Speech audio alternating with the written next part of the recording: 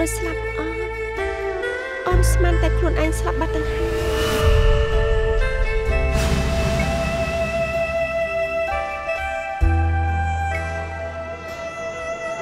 អូនមិនចង់តែទេ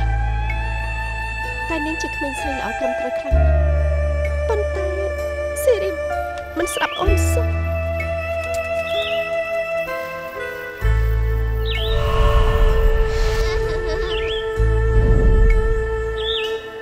នាងគ្រាន់តែជាក្មេងស្រីធម្មតា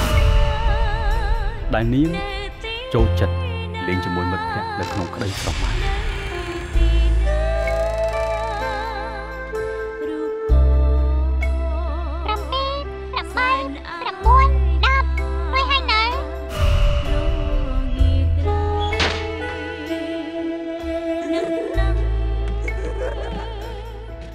ចាំមិនបានជាឯងចប់តែនេះបាន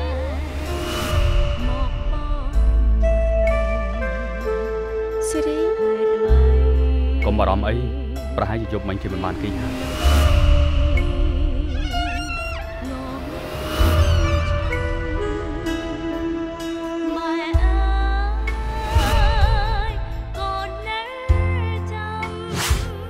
អ្នកស្អាតកូនណាដែលខែខ្លាំង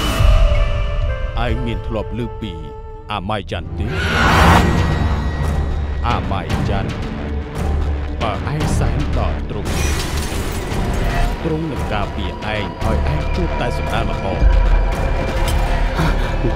តើបងធ្វើស្អីហ្នឹងណាបងឈួតទេអីមិនក៏អូនថាកូនមិនចម្លែកហ៎កូនយើងពិតជាផ្លែកខ្លាំងណាស់ហេតុអីក៏កូនយើងលេងតែពេលយប់តែនាងជាក្មេងស្រីល្អត្រឹមពេលខ្លាំងណាស់